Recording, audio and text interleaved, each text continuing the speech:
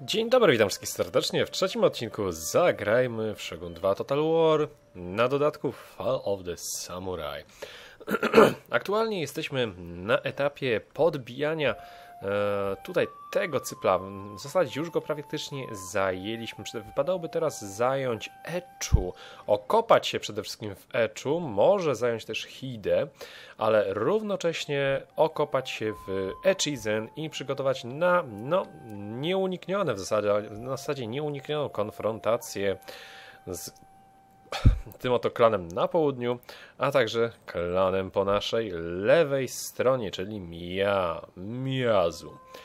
No nic, postanowili oni nas zdradzić w ostatnich odcinkach, najprawdopodobniej przez to, że ja też e, popełniłem parę błędów w dyplomacji i wypowiedziałem wojnę dla osób, na których teoretycznie nie powinienem wypowiadać. Sprawdźmy jeszcze podatki. Mam ustawione na maksimum, mam nadzieję, bo nie grałem trochę, więc chyba w takim razie wszystko jest tutaj tak, jak być powinno. Mamy 5000 dochodu, to jest dużo. Skończymy w takim razie turę. Z Noto bardzo szybko będę chciał przejść na Eczu. No właśnie. Tutaj teraz utracimy niestety to miasto. On nie posiada w zasadzie żadnej profesjonalnej armii. Jest to zlepek różnego rodzaju jednostek, ale niestety nie jesteśmy w stanie tego obronić.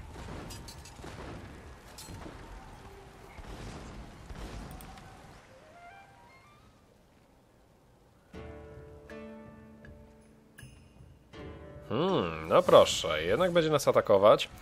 Z drugiej strony jest 1060 moich kontra 1080 jego. Ma dużo konnicy, dodatkowo samuraj skaczy, ale doświadczonych. Będzie musieli to stoczyć na mapie bitewnej. Zobaczcie jak wygląda obrona, przynajmniej w Fall of the Samurai. Byłbym wdzięczny też, jakby to dziecko za płotem przestałoby się drzeć, albo po poczekajcie przynajmniej, przymknę drzwi, bo pewnie to słyszycie.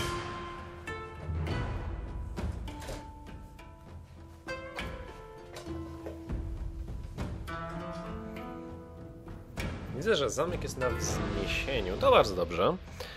Dla nas świetna informacja. Będziemy musieli ustawić się naszymi strzelcami w taki sposób, by jak najlepiej ich wykorzystać przy, przynajmniej zadać jak największe straty e, nadciągającym żołnierzom przeciwnika.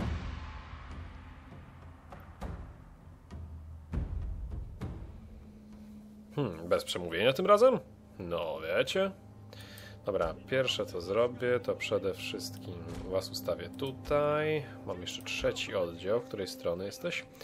Ok, jak to wygląda? Z tej strony na pewno nikt nie będzie nadchodził, to jest ten plus. Was sobie nawet bym zostawił mniej więcej właśnie w ten sposób. Tutaj rozstawimy też naszych e, Jari, znaczy poborowych z Jari. O świetnie, w ten sposób zajmiecie od razu wieżyczkę. Ta wieżyczka niestety jest ulokowana w taki sposób, że nie bardzo możemy z nią cokolwiek zrobić. Mamy tutaj też kolejnych poborowych, których najchętniej bym ustawił sobie w tym miejscu. I zobaczymy dokąd będziemy musieli wysłać te nasze dwa oddziały, gdzie będą musiały się bronić. Dobra, wróg nadchodzi tylko z jednej strony, to bardzo dobra wiadomość dla nas. W takim razie od razu ich sobie przestawimy tak troszkę. Ustawimy ich sobie tutaj, częściowo. Wy się najlepiej oddalcie. Oho, kto na speedzie. Dobra, Wy do przodu, natomiast i tak, wy przejdziecie mi, proszę ciebie, tutaj, w ten sposób. Wy natomiast ustawicie się tutaj. Wy... O, to się tak zastanawiam, właśnie poborowych strzelców ustawimy sobie mniej więcej też tutaj. Was natomiast... Później się wycofamy, najwidoczniej jak, jak wróg e, dojdzie do nas... O, wiecie co, zrobimy to w ten sposób. Idealnie. W ten sposób. Świetnie. Konnica z drugiej strony. Gdy dojdą do muru, wycofamy się. Nie będziemy walczyć przy tych murach. E, wycofamy się i pozwoli nam to e, zadać ciężkie straty dla wrogi piechoty szarżującej w naszą stronę. Dodatkowo generał, który będzie inspirował naszych żołnierzy. Nawet poborowi mają ulepszony pancerz plus celność, więc to powinno stanowczo wystarczyć. Dobra, Tutaj widzę, że mam jeszcze przystosowane do wieżyczkę do strzału już. Wspaniale.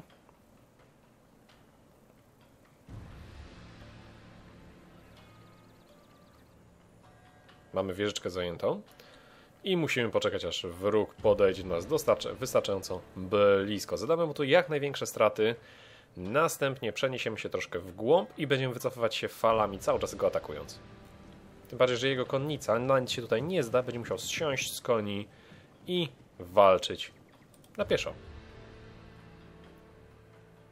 Przeciwnik nie dysponuje też żadnymi dodatkowymi e, jednostkami mm, artylerii. Dobra, już niedługo będzie w zasięgu. Ja jeszcze troszkę poczekam z tymi strzałami. Doskonale, niedługo wejdzie w zasięg.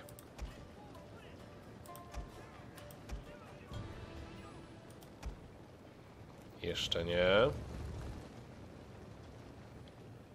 Jeżeli teraz wypuszczę strzały, to najprawdopodobniej trafią w tą ziemię. Jak gdzieś tutaj podejdą, to wtedy wypuszczę strzały.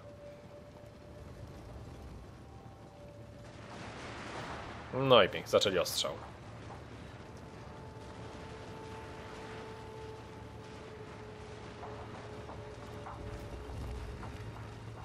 Mm, teraz strzały.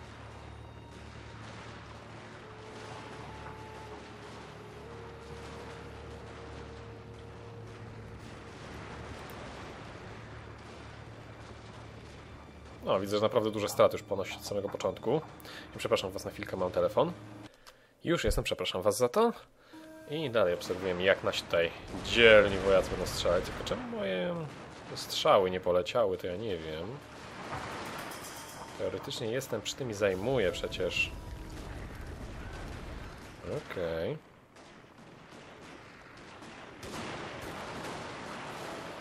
Doskonale.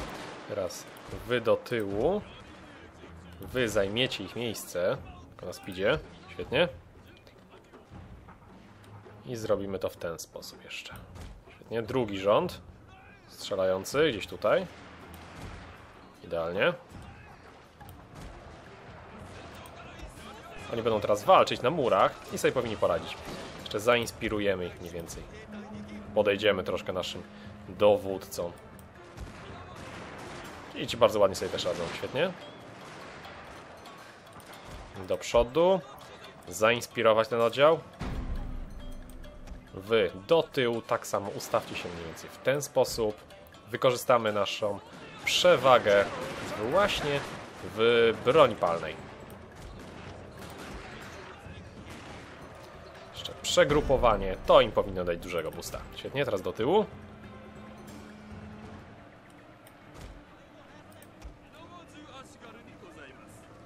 Mhm. I jak widzicie, teraz wejdą pod ogień naszych karabinów.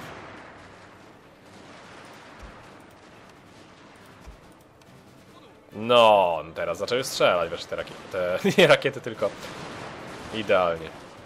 A ci powinni sobie poradzić bez problemu.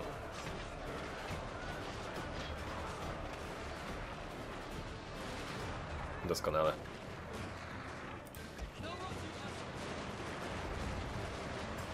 Tutaj bardzo, w zasadzie bardzo, e, przeciwnik, ba, znaczy nasz komputer bardzo ładnie celuje, nie jesteśmy też w stanie za bardzo zranić swoich. O, idealnie, dostają po prostu po tyłku niesamowicie. Dobra, ich niestety stracimy, ale i tak zadajemy im mnóstwo strat.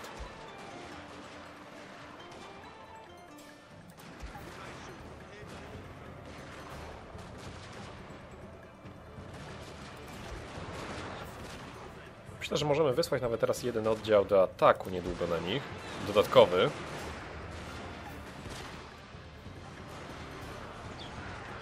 Chyba, że utrzymają się. Kupili nam wystarczająco dużo czasu. Zobaczcie, jak jest strat. Choć nie jest ich tutaj jeszcze sporo.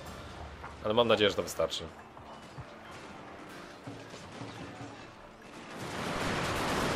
Sorry, poborowi. Jesteście mięsem armatnym. Teraz wyślemy jeszcze tych poborowych do ataku. Właśnie w ten sposób. A tych bardziej przesuniemy do przodu. Mhm, idealnie.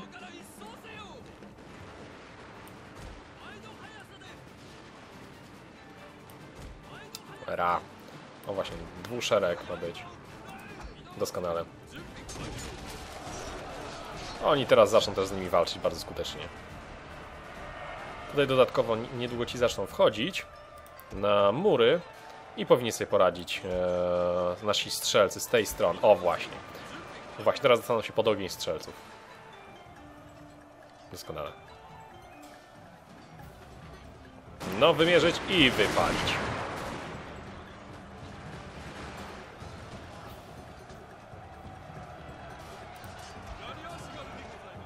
Pięknie.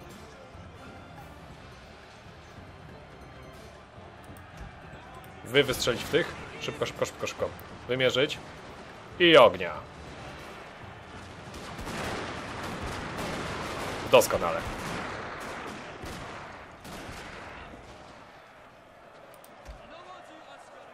Nasz przeciwnik w zasadzie nie ma szans.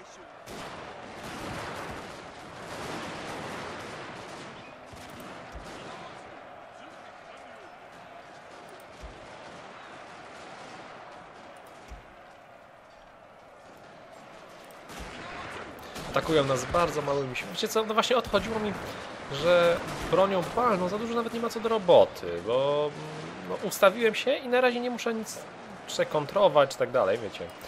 E, po prostu pozwalam w bitwie toczyć się dalej. Nie chcę też za bardzo mojego daimio stawiać na jakieś zagrożenie, dlatego troszkę podejdziemy. Będziemy inspirować nasze wszystkie oddziały. Doskonale. Teraz wy się tutaj przemieście. Moglibyśmy zainspirować nasz oddział, jeden z naszych oddziałów.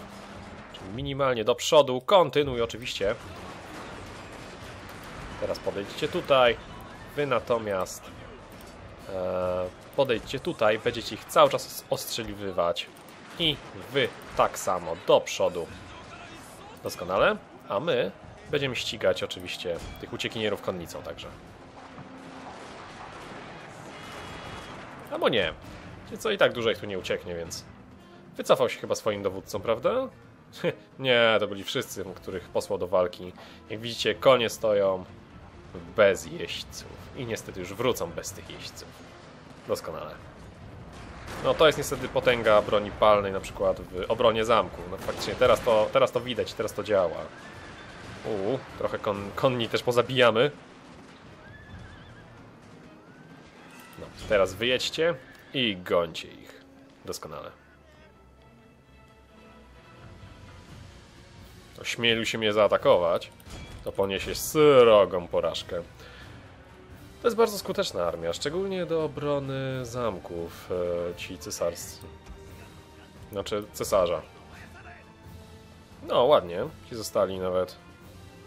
Jeszcze dali radę. Pięciu ich zostało w oddziale. Trzymamy się, chłopaki. Doskonale. No i mój daimio. To jest daimio? Nie, to jest jeden z moich generał, generałów. Wykończy ostatnich tutaj z armii. Przyspieszymy czas.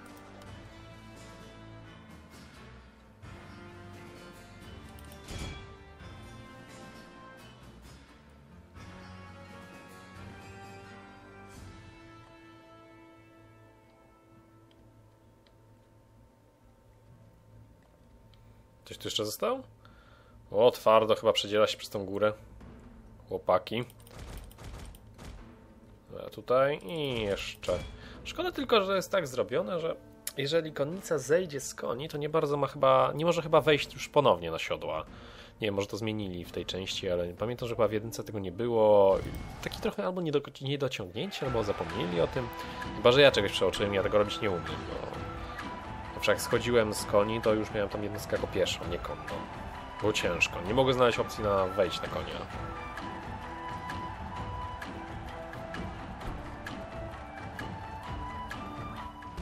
Minimalna wygrana. Doskonale. Minimalna wygrana, no bez przesady. Samych poborowych straciłem.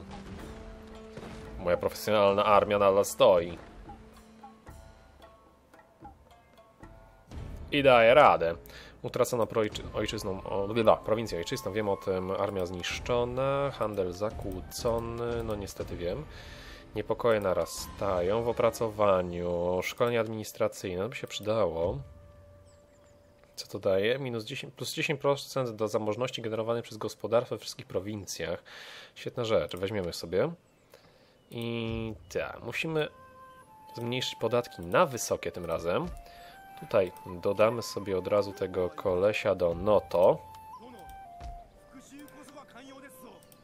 Mhm, będzie on tutaj nam pomagał nadzorować spokój, spokój publiczny. Mm, ulepszymy sobie też farmy. I myślę, że moglibyśmy nawet właśnie... Dodamy sobie tutaj nowe siły. Jaka tu armia stacjonuje teraz? Niezła. W takim razie od razu też z werbunek, dwa, jeden kolejny oddział tych e, piechoty liniowej. A my pójdziemy sobie, zostawimy tutaj natomiast e, powiedzmy z dwa oddziały tych, nie, jeden oddział tych i potem jest niewyszkolony. Zobaczmy.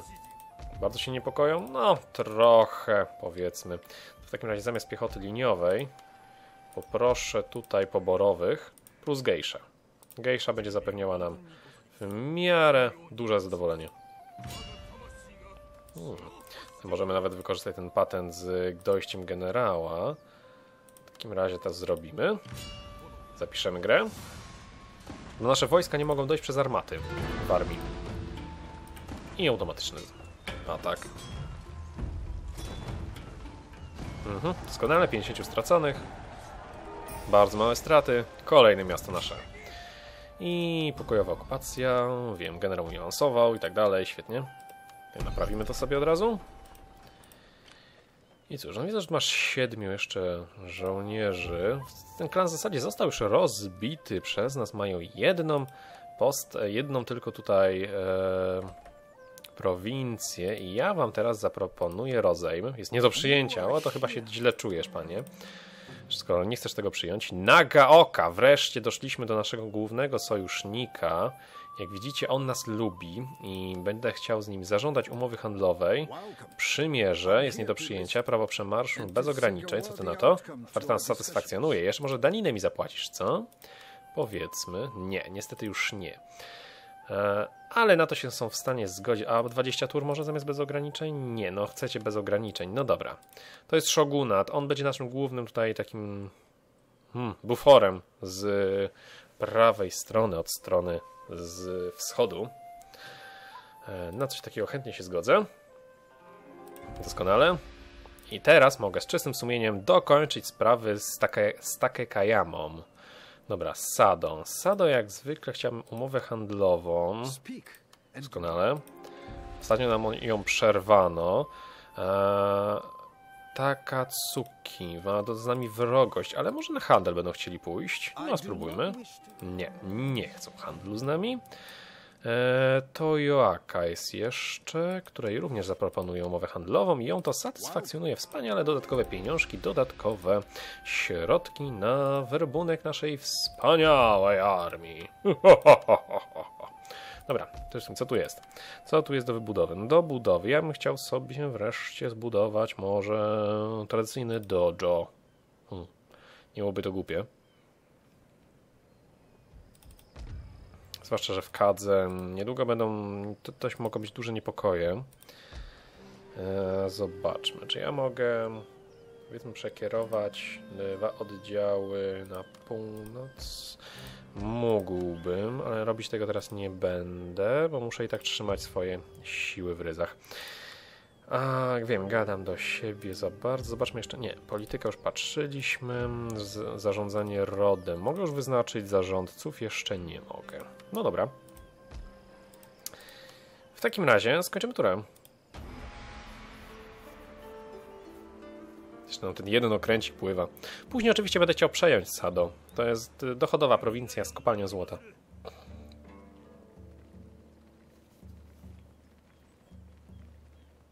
Sojusz z Nagaoką naprawdę mi pomoże. Jest to frakcja, która zabezpiecza nam właśnie flankę. Noż ty! Będzie mi się tu teraz pałętać, no. Najazd wroga, wiem o tym. Niepokoje narastają Noto i Eczu. Noto, wiem. No to powiedzmy, że gejsze przeznaczymy do zabaw. Jeszcze mają minus dwa do zadowolenia. W takim razie rozwiniemy im jaskinię hazardu. To im się spodoba. Dobra. Mm, dodatkowo chętnie bym przekazał powiedzmy jeden oddział moich strzelców Kachi to miejsce. Czy już jesteście bardziej spokojni? Nie, nie jesteśmy bardziej spokojni. Dawaj więcej. Natomiast całą moją armię musiałbym sobie przerzucić. Może jeszcze jeden oddział w takim razie. Tak, nie potrzebuję takiego... O, świetnie. Teraz są już w miarę spokojni. Wami dojdziemy tutaj. Natomiast mój dowódca awansował, czego nie zauważyłem. Ma dwa punkty do rozdania. To mu rozdamy w takim razie. Zwiat. 20% szansy na dostrzeżenie ukrytych armii, plus 25% do zasięgu widzenia na mapie kampanii, bezużyteczne. Plus jedno do dowodzenia podczas zasadzek, bezużyteczne. Mm, weźmiemy sobie to i weźmiemy sobie, bo to jest plus 3 do ataku wręcz dla gwardii tego człowieka i plus 1 do dowodzenia podczas ataku, plus 6 do celności dla gwardii tego człowieka. Mm, następnie weźmiemy sobie logistykę, bo jest to plus 5% do uzupełnienia jednostek pod jego dowództwem, 10% zasięgu ruchu na mapie kampanii dla wszystkich jednostek pod jego dowództwem. Bardzo dobry pasyw. I mamy jeszcze możliwość, możliwość napaści. Plus 1 do dowodzenia podczas zasadzek umożliwia wszystkim flotom toczenie bitew nocnych. U. Plus 10 do dochodów plądrowania. Praktycznie, nie używam tego plądrowania, więc e, weźmiemy sobie logistykę, da nam tu bonus do odnawiania sił. Eee, świetnie. W takim razie tutaj już mamy wszędzie spokój, z tego co pamiętam. Tak jest, wysokie podatki, bardzo ładnie. Nie będziemy teraz podnosić, bo mamy niepokoje wciąż. Natomiast mamy jeszcze 2000 i moja farma, którą muszę niestety naprawić. Tutaj, wiecie co, zrobimy sobie ponownie chałupnictwo. Niestety, ale potrzebuję pieniędzy. Więc wybaczcie dojo, wybaczcie samuraje. Pieniądze, more important. Myślemy też dwa oddziały. Razem z dowódcą, te nasze elitarne, do yy, zniszczenia tej konnicy. Mhm, doskonale. Nie będzie nam się tutaj pałętać i niszczyć moje cel, cenne złoża plus kolej. Mamy tutaj kolej, bardzo fajnie. Możemy z niej skorzystać? Nie, na razie nie możemy. To w takim razie wejdźcie do miasta i będziemy musieli się teraz troszkę e, rozwinąć jeszcze militarnie bardziej. Przede wszystkim zainwestujemy może troszkę w piechotę właśnie liniową. Mm, tu, tutaj też musimy troszkę posiedzieć przede wszystkim i no, zabezpieczyć się. Możliwe też, że, że weźmiemy sobie odnowienie włości. Może być fajne. Za trzy tury po skończeniu tworzenia tamtej rzeczy. Sprawdźmy jeszcze, mm, jak się mają relacje nasze. Relacje są całkiem spoko. Możliwe, że jakbyśmy przeszli na cesarstwo, na stronę cesarza byłoby znacznie lepiej. Mamy trzy klany, z którymi prowadzimy wojnę.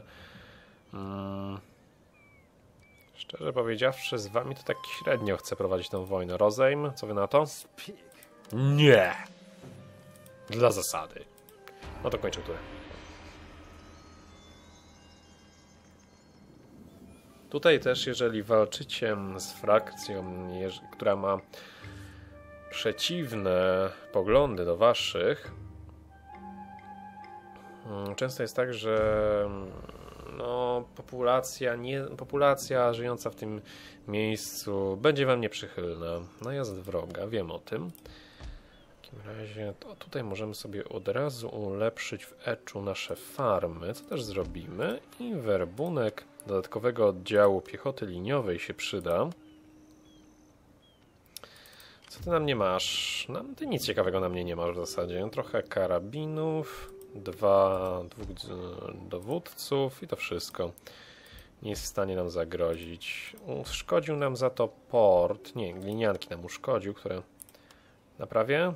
Nie, nie, nie naprawię, bo nie ma pieniędzy. Czy tutaj się już uspokajacie? Proszoguński właśnie, widzicie, zmienia się nastawienie do naszych. To jest już proces sarski, cudownie. Tutaj natomiast też będziemy musieli jeszcze poczekać.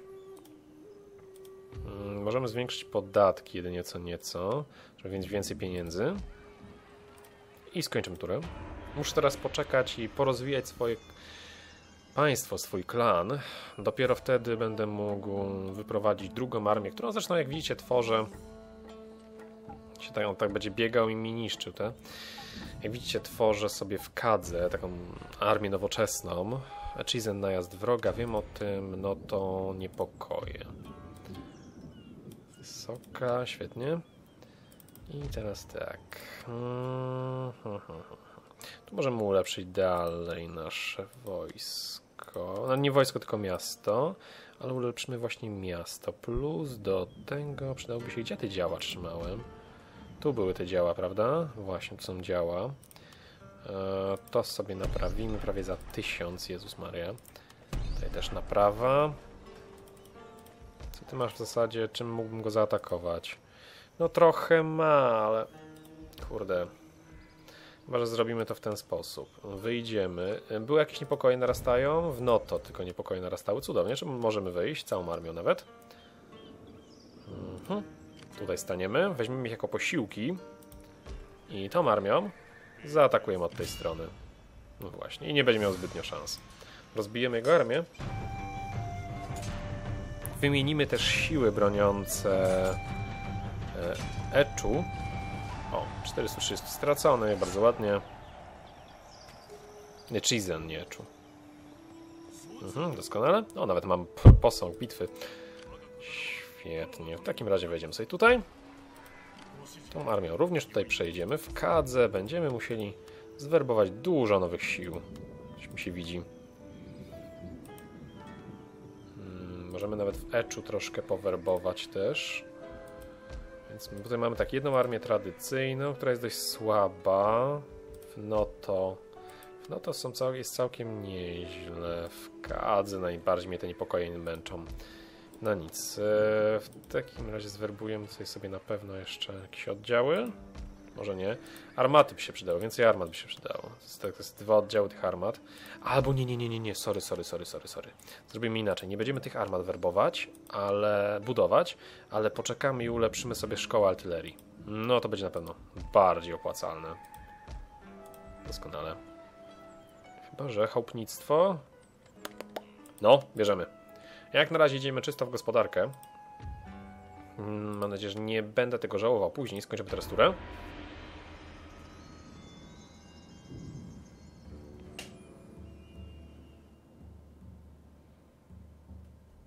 Mógłbym też odbić swoją stolicę.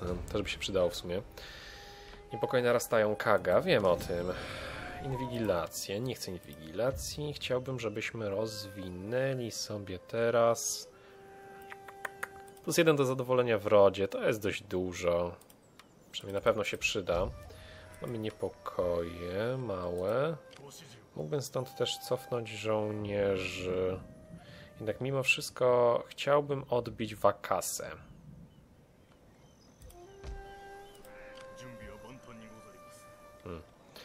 Jak się bardzo rozwinął ten ród? O, bo widzicie, on, jest, on się znajduje teraz na tych trzech prowincjach. Gdy przejmę Hidę, należącą do Otake Kayamy, ostatniego rodu, z którym mamy wojnę z tej strony, będę mógł zaatakować ich od razu. W takim razie tak, to też zrobimy, więc cofniemy się może jeszcze naszą armią, tutaj żeby w Kadze były względny spokój. No masz. No wyszli ostatnio i teraz dojść nie mogą. No, bzdury totalne. Dobra, ten też nie pomoże za bardzo. Mm, wysoka. To muszę zejść na normalną przez tego dziada. Ech, nie lubię takich rzeczy. Dobra, tutaj werbunek. I co mamy do możliwości? Hmm, chałupnictwo, warsztat od razu rzemieślniczy możemy zbudować. Cudownie. Również miasteczko do wyboru. I cóż warsztat też tutaj. Wiecie co, w Eczu bym ulepszył sobie warsztat. Hmm, przyda nam się. I tutaj ludziska skończę turę, a także odcinek. Dzięki za uwagę i do zobaczenia w kolejnych. Hejka!